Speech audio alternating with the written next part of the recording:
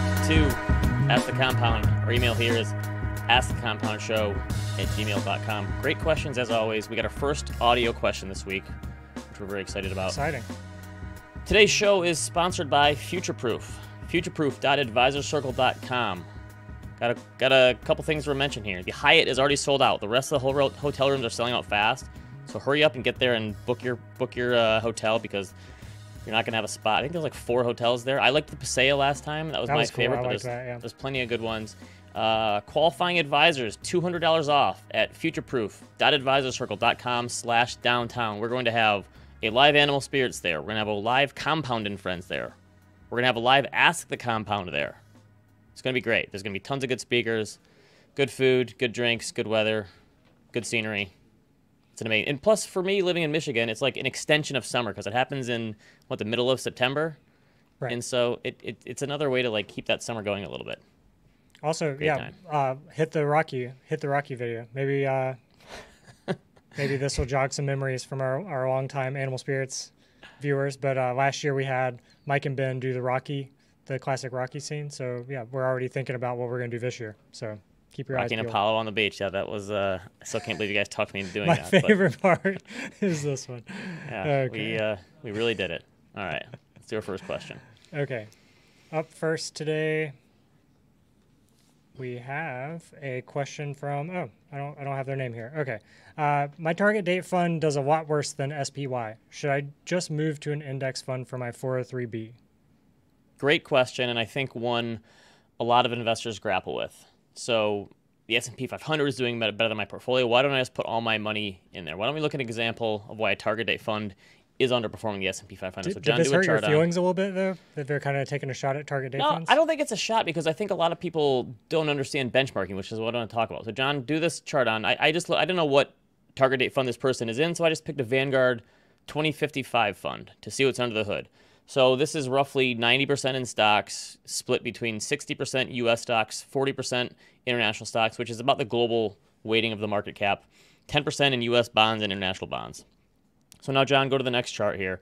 This just shows the gains this year. The S&P is up like 14%. This target date fund's up 11% or so. So why is this the case? Well, it's pretty simple. Bonds are only up around 3% this year, U.S. and international. The stock market's up 14 to 15%. International stocks are up like 10 to 12%. So listen, if your target portfolio is a 100% asset alloc- or allocation to the largest stocks in the United States and you're underperforming the SPY, then something is wrong. There's a problem there, right? You're underperforming. But if your target allocation is something different and you're using the S&P 500 as a benchmark, then you're comparing apples to oranges here. It's not the same thing, right? The, the that's that's one specific market. It's one specific specific style of investing. Now, it could be the case that you need to take more risk, right? Most target date funds cap out at 90% equity exposure. I looked, if you went out to 2070, I think is the furthest Vanguard one, it's still 90% stocks. So I think that's as high as they go. So if you want to be 100% invested in stocks, then a target date fund is not for you. I'm a big proponent of them. You mentioned it, Duncan. They're low cost, they're broadly diversified, they rebalance automatically, they're simple. It's like a single fund of funds. And then they're professionally managed, so the asset allocation will change and get more conservative as you age. If that's a problem for you, maybe you need a portfolio that's 100% invested in stocks. All of my retirement funds are invested fully in the stock market, 100%, right? I take those RPMs all the way to the top. I'm not in the leveraged versions like you on some funds, Duncan, but if you have like the intestinal fortitude to have 100% of your money in stocks, that's fine. Um, and you, that's what you want to compare to, that's fine. But even within stocks, I diversify by international and I have different strategies and I have different types of stocks. So I, I still diversify that way. So if, if you want to have everything in the biggest stocks in the US, then that's a decent benchmark. I think, I, I just think for most people, that's not the benchmark that they have. And I think a lot of times my worry is this person is talking about performance chasing, right? The perfect portfolio is pretty clear in hindsight. It's never clear ahead of time, right? So diversification means your portfolio is never going to be invested in the best performing asset class or strategy or style, but that's that's a feature, not a bug. So the question really boils down to how you're benchmarking in the first place. I'm not a fan of benchmarking portfolio performance to a benchmark simply because it's doing well or because fin- financial media talks about it or someone else is invested that way. Because sometimes a diversified portfolio will beat a, the S&P 500. Uh, anything you diversified last year, you did much better, right? If, if you had some value stocks in your portfolio or high quality stocks or something else, international stocks, you did better than the S&P last year. So nothing works always and forever. I think you just have to figure out if that's the right benchmark for you. I look at it like this the only benchmark you should really care about is whether or not you're on track to achieve your financial goals. That's it. Any performance numbers or risk measured should be compared to that goalpost alone. If you're trying to beat the market and you're a stock picker, sure, benchmarks matter, but I think it matters, you know, what your risk profile and time horizon are, and if you set an asset allocation, that's your target. And I actually think it's kind of funny. I actually think a target date fund is a good benchmark to have. If you have an 80-20 allocation to stocks and bonds, and you you measure that against an 80-20 target date fund, I think I think that that's actually a pretty good benchmark. That's a better benchmark than the S&P 500. I also think I also just think the idea of constantly measuring yourself against those kind of indexes means you're always going to be chasing something else because it could, could be the Nasdaq 100 one year, it could be international stocks one year, it could be bonds one year. You never know. I also I, I just the whole thing about beating the market is always kind of funny to me. Jason Zweig wrote a piece for the Wall Street Journal a number of years ago about beating the market. And I loved this part. He said, uh, I'm going to read it here. I once interviewed dozens of residents in Boca Raton, one of Florida's richest retirement communities. Amid the elegant stucco homes, the manicured lawns, the swaying palm trees, and the sun and the sea breezes, I asked these folks, mostly in their 70s, if they'd beaten the market over the course of their investing lives. Some said yes, some said no. Then one man said, Who cares? All I know is my investments earned enough for me to end up in Boca. I think that's the idea. You, you don't you don't judge your performance against the stock market or whatever you, you think it is. You judge it against whatever asset allocation fits for you and your personality and your disposition. And that asset allocation should always be tied to your risk profile and time horizon. That's that's the thing. I, I think first you figure out if, if that's the right asset allocation for you, and then then you figure out you know what the right benchmark is to judge yourself against. Yeah, it kind of becomes a keeping up with the Joneses thing, right? It's a yeah. it's exhausting to constantly be judging yourself so, like so that. So your your benchmark is TQQQ, right? Yeah, I mean, hey, you know, I actually new experience. I, I started selling covered calls a while back um, because I was looking for something to help offset my horrible losses. How'd that and, go? Uh, and I just got I just got some some pulled away from me at a very unfavorable price that I, I wasn't so expecting. So you got I called found away. Another way to get chopped up. but you earned some premium in the meantime. I hope. I did. I did. So yeah. Okay. All Not right. worth it though, but yeah. Right. It, that's the kind of strategy that always seems better in a bear market, right? And that, that's that's the whole problem here with any of this stuff is anytime there's a bear market, you're gonna be you're gonna be kicking yourself saying, I wish I would have gone into this with way less risk. And when there's a bull market, you're gonna be kicking yourself and going, I wish I would have gone into this with way more risk. Unfortunately, I think for most people, you figure out the asset allocation that you can hold during both of those environments and everything in between, and that's the one you have to be find your make yourself comfortable with. Otherwise, you're always going to be chasing something. Right. And the way I make myself comfortable with something like that scenario just described is like Josh says, it's like your tuition to the market, right? You know, like I didn't go to school for finance and investing. Uh, so, you know, sometimes yeah. you pay a little went, tuition. You went to film school so you could record Michael and I running on a beach in slow motion. right. Exactly. All right. Next question. Okay. Uh, up next, we have a question from Pascal or Pascal. I'm not, I'm not sure. Thanks to you, I am now really interested in personal finance. I have money to invest in a low cost index fund, but I have serious doubts that the market can generate around 8% returns over the next few decades. We can't replicate the industrial revolution of the last century, and the climate crisis will have a massive impact on the world economy. Uh, world population growth slowing is a megatrend, and future generations cannot sustain the pace of growth we witnessed in the last century. In general, the Earth is a finite system, so indefinite growth is impossible. Isn't this a mathematical reality? So this was the TL- deep. Thinking this deep. was yes, this was the TLDR of this one. Pascal is actually from Germany, I guess, and he he gave like eight more paragraphs. So I actually read them all and kind of went bullet point by bullet point going through this. I understand the thinking here, even if I don't agree with it. Like, is there a cert a ceiling of, of like the amount we can grow? I guess eventually. Like the United States was once an emerging market, so the fact that we've grown so much in the last whatever 150, 200 years, can we grow that much going forward? No. Just like China has had 10% growth for the last 30 to 40 years or whatever, they can't do that forever. So I think the low hanging fruit has probably been picked in terms of growth and innovation. Sure. I, but I still think we have some work to do. John, give me a chart on here. This is from Our World in Data. Shows the share of the population living in, in poverty. Uh, 25% of the world still lives on less than $3.65 a day. 47% of the world lives on less than $6.85 a day. 84% of the world lives on less than $30 per day, which is the poverty line reflective of like high income countries. So there's still plenty of work to do and plenty of emerging markets and that I think are going to come up and have their day and, and can provide some growth, even if it doesn't come from the U.S. But I don't know. Do I think people are going to wake up in the decades ahead and, and not want to improve their standing in life? No. Do I think innovation is going to plateau and stop happening from here? No, I think it's probably only going to get better. Uh, do I think people are going to stop spending money in the future? I think, if anything, we've shown that, that, that that's probably never going to happen for the United States. And do I also think corporations are going to try to stop creating profits? No. What drives profits or what drives stock market returns over the long run? Profits and dividends. So could returns be lower in the future? I, you could certainly make that case. But does that necessarily mean that like everything's going to grind to a halt and, and things are going to stop? I think if, if that's the bet you're making that growth is going to stop completely because we've we've already wrung everything we all the little all the water out of it that we can. I think the least of your worries in that situation is your stock market portfolio because it's not going to matter what you do with your money at all if if the economy just completely stops and the gears grind to a halt.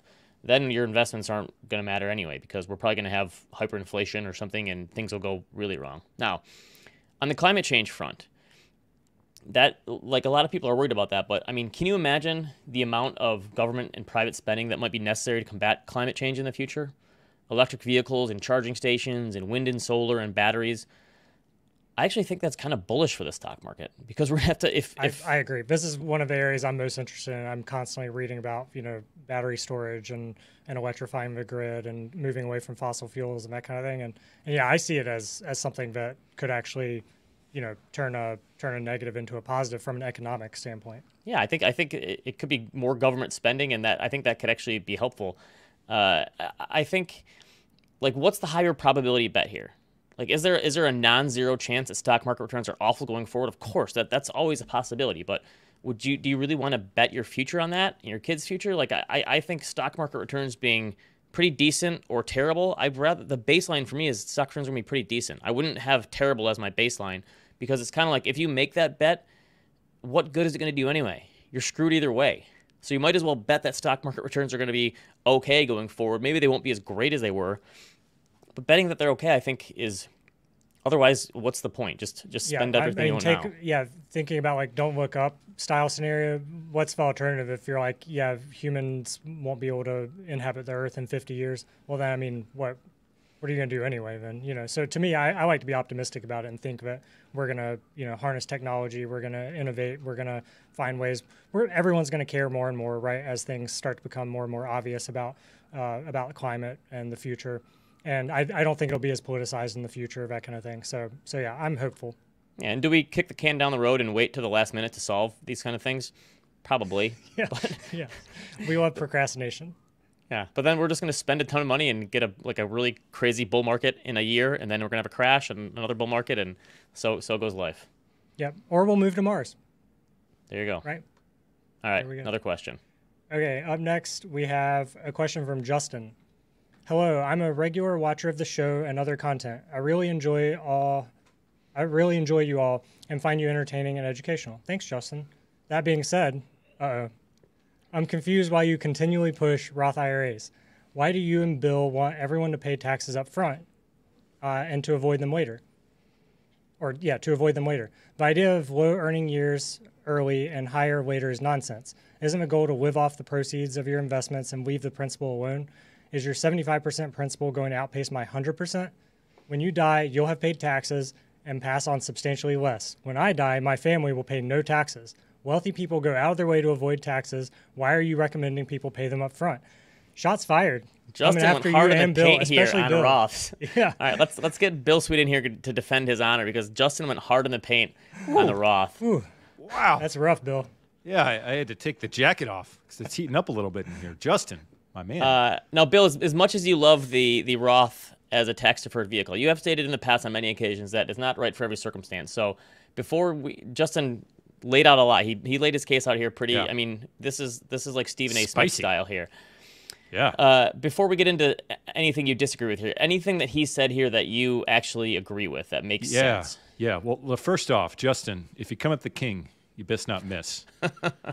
um, but I do agree, Ben, with Justin. He's got a great, a, a, bunch of great points. And Ben, we covered this on the last Ask the Compound uh, two weeks ago, as you recall, where I, I, did moderate my stance a little bit on Roth IRAs due to some listener feedback like this. But Justin, uh, guns blazing, I give you a lot of credit. He's got a lot of great points. I do think I've overstated the benefits of Roth IRAs. They're not applicable in all circumstances to all taxpayers if you're in a high income situation now and you expect to be a low income situation in retirement, Roth ain't for you. That's what traditional IRAs and 401ks are for. And when choosing between Roth and traditional, um, I, I, advocate that there's no reason to do both, to do, to do one or the other. Like that, that is a fallacy. And so, John, can we just pull up the first chart real quick? This is a chart I shared two shows ago, two Ask the Compounds. If you're in the 12% bracket or less, Roth makes all the sense in the world. If you're at 32% or above, generally, depending on path dependence, I would say thou shalt not Roth. And, and that's it. I, I think that's it. Not applicable for everybody. I would, John, I would say the, the take the chart away? The simple one Yep. would be your younger, low earning years, Roth Mm-hmm. makes a ton of sense. Older, higher earning years, Roth doesn't make as much sense. Is that fair? Yep. Yeah, more or less. And I think the 12% tax bracket is more or less it. That right around there, it tends to be a slam dunk unless you expect to be indigent in retirement without Social Security, without RMDs. So, Ben, if you will indulge me, can I get to some some points, some retorts for a moment here? The the floor is yours because uh, yeah. Great. I so, figured. so Justin, a couple of things. Uh, first off, in your presumptions that you're not going to, your heirs aren't going to pay any tax. That, that's not right. Like if your heirs inherit your traditional 401k IRA, they have to distribute the balance within 10 years, and that's 100% taxable to them. And so, if you don't care about your heirs paying tax, I mean, I just I wouldn't do that. But there's no step up in basis uh, that occurs with the traditional asset. So that's a big one. Another point that I want to just debate a little bit behavioral finance shows this is a Harvard University paper does front loading taxation increase savings from 2015. It shows that when given the option, people save the same amount in a Roth 401k as they do in a traditional 401k. I was thinking that. So he was saying you're 75% principal versus my 100%. Most people who do that don't then save the difference. That's it. That's Right? exactly it. And so if you're choosing between Roth or traditional and you have the discipline to go out and save the balance that you would have otherwise invested, then yes, I think it's close. And in many cases, the traditional uh, 401k wins out. But where we live in the real world with real people that don't do this, don't know their life on a spreadsheet, they tend to save the same amount. And so when you look back in hindsight, when you get to retirement and distribution age, if you have a traditional and Roth IRA, your Roth IRA is worth about 20 or 30% more because it's all post tax, right? I did And this so- recently when I switched to a Roth 401k a few years ago. Mm-hmm. I saved the exact same amount. Yep, exactly. I didn't change what and I so you- saved. and so exactly your point, Ben. If you're cramming more dollars into the Roth that are post-tax, it ends up being worth more in retirement, assuming that you don't save the difference, and that's the key point. Uh, next is I'm not optimizing personally for my net worth. That is a heresy in financial planning where people play this video game where they want to see their, their net worth go up every year. I don't give a flying hoot. I am optimizing in my retirement for how much money can I spend. And therefore, I am very comfortable early in my life, in early years, filling up those low tax brackets, stuffing the Roth into there, because when I get to retirement, I'm going to get to take all those distributions tax free and live live happy and, and buy my cars and go on vacations and have a good time. So that is very important. And in my experience in financial planning work, 15, 16 years of experience, retirees taking distributions still feel the pain of taxable distributions. It is still painful for them, especially lump sum distributions, which, assuming you have Social Security, assuming you have, let's say, a modest pension, assuming you have some investment income, you're probably not going to be in the 12% Oh, so you think people have a way easier time spending Roth dollars? Yes, and that that has been my experience, and we're going to get to that question, Ben. Another listener question here in a moment. Um, but if you're pushing into a higher tax bracket, then you may blow up the math, and furthermore, it doesn't account for things like Medicare surcharges, which begin to kick in about 140, 160 thousand dollars of net income. So that's that's a big deal. So I'm not optimizing for net worth. I'm playing a different game, and that's okay. Like right. So for people that want to see their net worth go up, up every year, Roth IRAs are not for you. You will definitely be better served with a traditional pre-tax dollar. Um, and then again, I just I recommend filling up last tax bracket. So last point, John, can we go to chart number two? So I'm gonna I'm gonna reveal some of my bias, but like without any bias or anything like this, I want to show you guys a chart of this is federal government expenditures on the top line and receipts on the blue line, and that those, that, those numbers have not been in balance since uh, roughly the late 90s. And that's okay because Ben, you've said this before, and I agree. The government is not a household; it doesn't have to balance the books. But when I look at these numbers, they are they are disconnected. Uh, and the one of the primary reasons is John. This next chart that I want to show the, the the listeners. This is a history of federal tax brackets, effective tax rates, not the highest marginal rate. My opinion and my bias is we're living in no, low tax nirvana right now, and we just don't realize it. I have no expectation that tax rates are going to jump up in the next couple of years, but I don't have to because absent absent action by Congress, every taxpayer is going to be paying about 3% more in 2026 because of the expiration of the Tax Cuts and Jobs Act. And so that's that's a bias of mine, that's an assumption that's built in, but I do think that we're living in this low tax environment right now and we just we just don't realize it. That's We're in the what I noted that I was going to ask you, Bill. Is a lot of people I feel like always assume that we know that you know tax rates are going to be xyz in the future 20 Mm-hmm. 30 40 50 years but i mean there's nothing really stopping massive increases in taxes down the road right I, mean, that's correct, and that, that's a scare tactic. But if you look a, across the world and look at other OECD, the major countries, the U.S. is in the bottom third of taxes. I think there's a conservative argument that that's part of what makes our economy dynamic, right? People are out there reinvesting that capital elsewhere. But you know, the government spending is just so out, out outpaced revenues, and there's not a political will to increase taxes. I do not think spending is going to go down. So I think just by hook or crook, this is this is going to have to work itself out one way or the Bill, other. And I, I think higher taxes are in our future. Sean in the in the chat wants to know if you actually drew that last graph on Etch a Sketch. I, did, I didn't, Because- but it might have been a big improvement. That's actually, I want to shout out a guy, Mike Bostock. I read that article uh, a couple of years ago. It's a really, really good article at observable.com. But yeah, but the, to the point of not knowing what the future holds, that's the whole point of tax diversification and why I preach the benefits of diversification in everything that you do. I think income diversification is helpful, investment diversification, tax diversification, all Yes. this stuff. That that's you. I think you you rarely ever want to be concentrated in one thing because you're betting on the future's going to turn out this way. So I'm going to concentrate anything I do into one Correct. in one bucket. Yep, and we had a great listener question last week, Ben, that we addressed two weeks ago on Ask the Compound. Please go back and take a look. But it was, should I ever have 100% Roth? And my answer is no. You should not always leverage, unless you're 25 years old and you plan to shift to traditional later. I'm probably about a year or two out, and I'm going to shift gears. But probably, Ben, the last point on this for me, I've been 100% Roth since I got into this game. And I'm 43 years old, and I'm probably mid-career right now. So I can't I can't say more about what I'm doing with my own assets and what I help clients recommend with than than than that.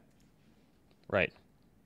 So, so great, great question, Justin. Thanks, thanks for the question. I appreciate. No, we, the we don't feedback. mind. We don't mind a little pushback here. Right. Bring it on. yeah bring it on yeah, Bring it that's on. fun Yeah. Absolutely. yeah. there's nothing like bill you know uh, you know spitting facts with a tank shell over his shoulder there you It- know? Exactly. That is act. Yeah, that is an M82 uh, high explosive anti-take round. It's not real. To just to be very clear, don't don't don't come and arrest me.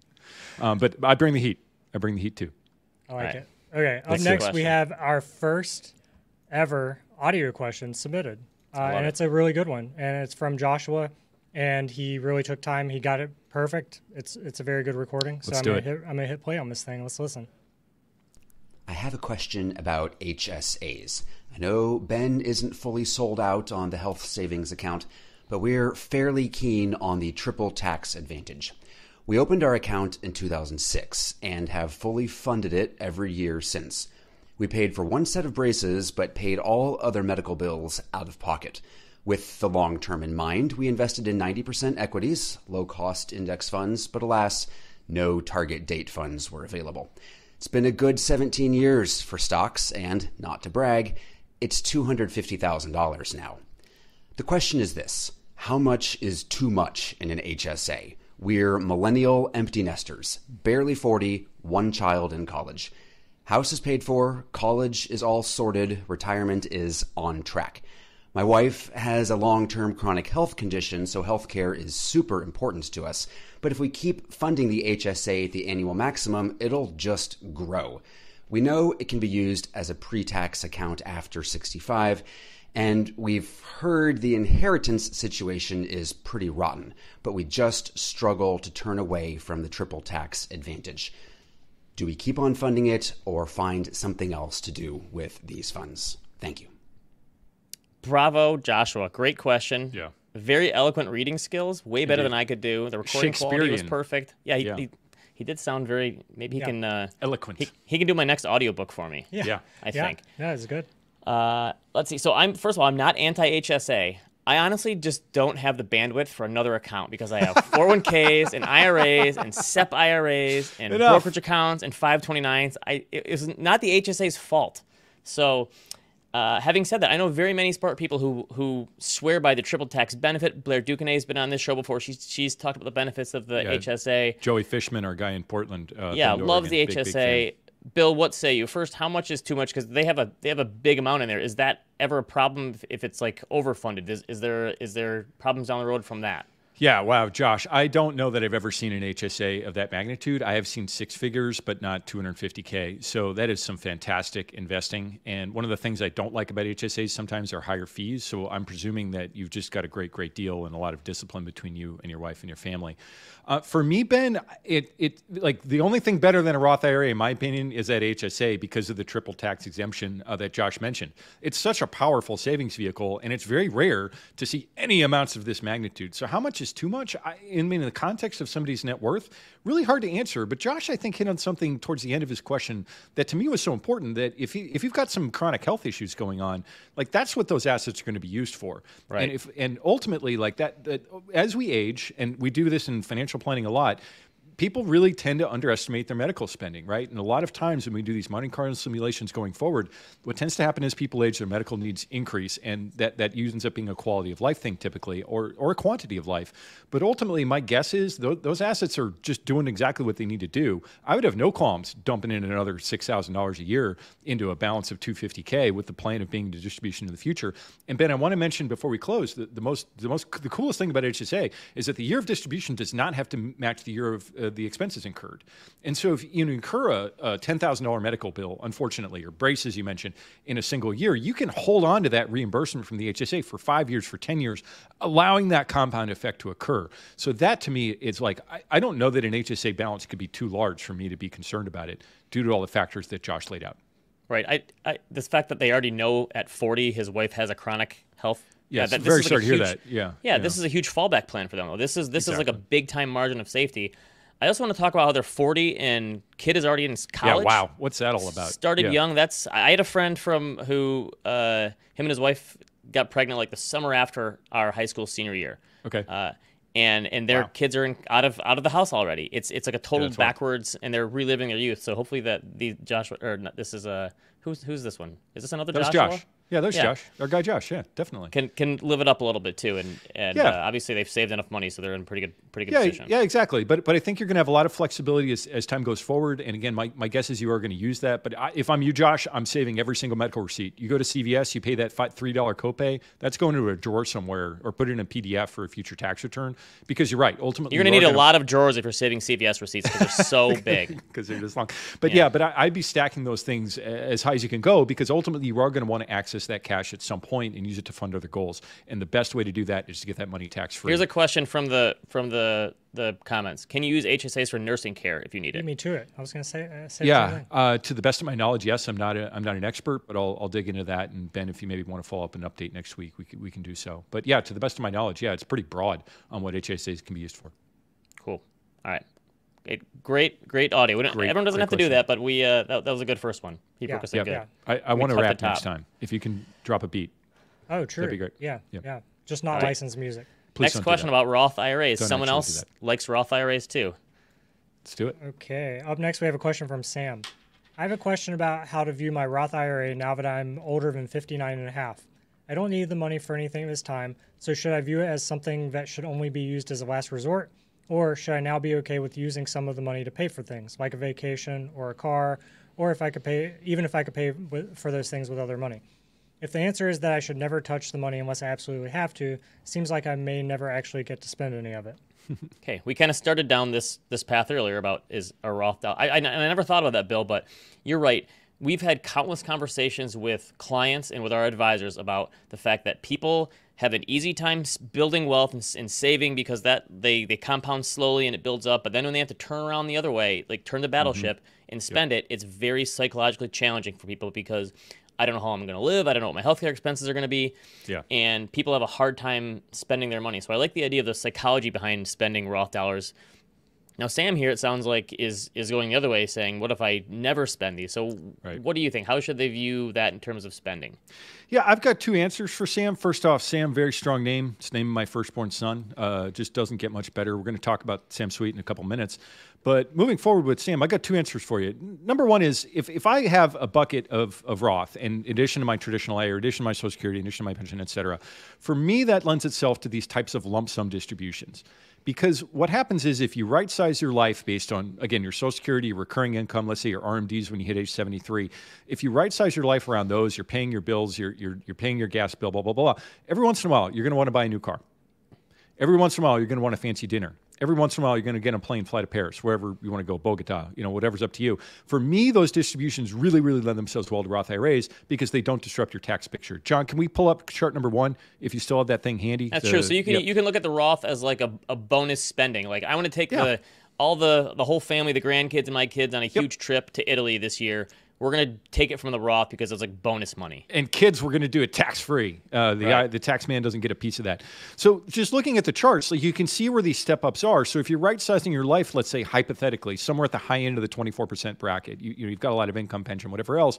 You don't want to jump up in that 32% bracket by taking a hundred thousand dollar distribution to buy a new truck or a Tesla or whatever it is you want. So that that is perfectly lends itself to a Roth because furthermore, it doesn't mess up with your IRMAA, your Medicare uh, expenses on a monthly basis. So that that's answer number one. Answer number two for me is if, if, if you've got all your needs funded and if you don't need that asset at all, it is a fantastic estate planning. Uh, pass it on to the next generation asset, right? So I would not, I would not have that at bullet point number one. But assuming that all of your lifestyle needs are cared for and you're taking your kids out to nice dinners, you're enjoying the retirement that you so richly deserve after working and saving for years and decades and doing it all right on the back end, the Roths are great because on your passing, the kids have another 10 years to distribute that asset. They leave it into another account. It comes to them completely tax free. Going back to question number one for Justin, it was a great question. Your heirs are going to pay tax on your traditional IRA balance. Does so that work like an RMD where you have to take one tenth every year?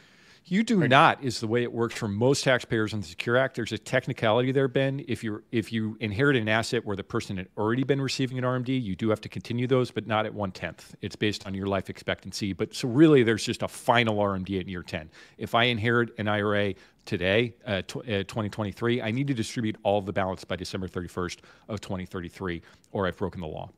So your your children are gonna are gonna learn to love Roth someday, right? They're gonna be getting a lot of Roth dollars come to them. Well, I mean, you would think so. If I have an untimely passing, then yes. But my goal, Ben, is to spend every freaking dollar that I'm saving here. I, my kids are on their own. I'm going to help them pay for college. I'm going to get them on a good feed. I'm, I might I might help them out with a vehicle or something like that. But after that, they're out of the house and they're on their own, and they've Off the got to do it the American way. Exactly. Uh, yeah, I just I do push back a lot on ta- on clients and taxpayers generally. This goal of passing money on to the kids is insane to me. Go out and earn your own money. Do it do it the right way. I, I think that's the way to, to raise children in 2023. That's It's that's my it's opinion. Shaq that said uh, that told his kids, you know, that's not your money, it's my money, right? Famously.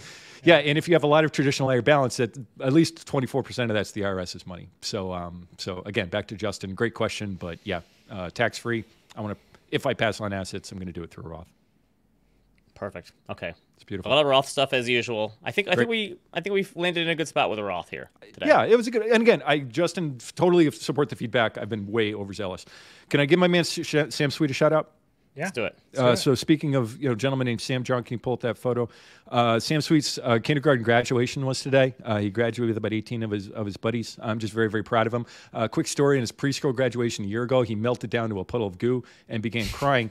Uh, but what he told me, I said, Sam, what do you want to do? What do you want to do this weekend? He said, Dad, I want to go camping, and if you see a bear, I want you to punch him in the heart and then kick him in the privates. And then he ran away to play with his friends. And I have never been so proud. And I just wanted to share that for posterity. 10, 20 Taught years him from well. now, I'm going to show Bill, this the, to him. the great thing is my my kids are done with kindergarten this year too. We didn't have a graduation. I didn't get to uh, I didn't get to go that route. But uh, our kids are going to graduate high school the same year. My twins are, are both moving on to first grade as well. Oh, congratulations, Ben. Our our teacher tried to pull that crap, and we were like, "No, we're coming in on this day, and we're going to gather, and we're going to celebrate." And the kids got uh, got candy, and it was awesome. So, Okay. Congratulations, Ben. Participation trophies still. Congratulations, proud dad. All right. Way Awesome. to go. All right.